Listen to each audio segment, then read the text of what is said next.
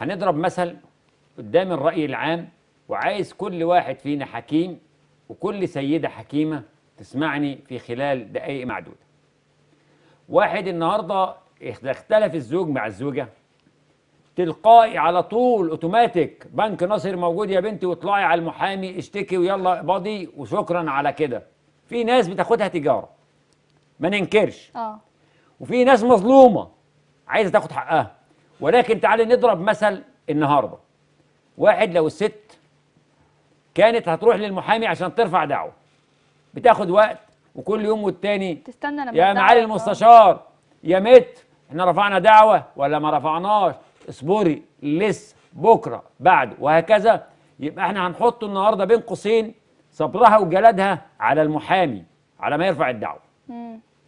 رقم اتنين لما الدعوة بتترفع سكرتير الجلسة راح تسأل سكرتير الجلسة استني بره يا ست الست ما تقدرش تتكلم تتكلمش ليه؟ ده قانون ما ينفعش خلاص يبقى اذا. النهارده عندها صبر وجلد على سكرتير الجلسة مم. تمام؟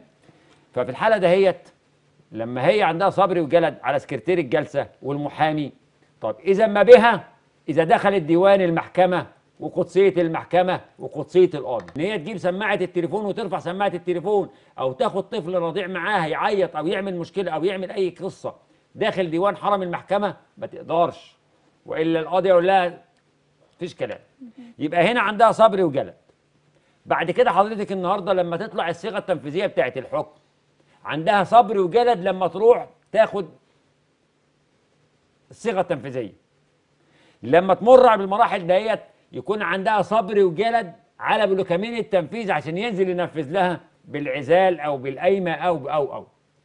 لو كان عندي أب رشيد وأم رشيدة وحكماء في تصرفاتهم ونقول الحكماء لدى المجالس العرفية في البلاد وفي القرى وفي الفلاحين هنخف على المراكز هنخف على اسامي الشرطة هنخف على ال- المحاميين هنخف على المحاكم هنخف على السجون هنخف على كل ده.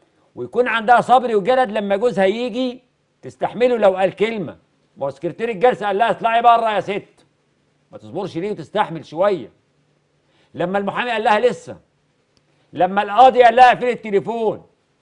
كانت المفروض إن الست تستحمل شوية في المراحل ده إيه؟ تستحمل جوزها.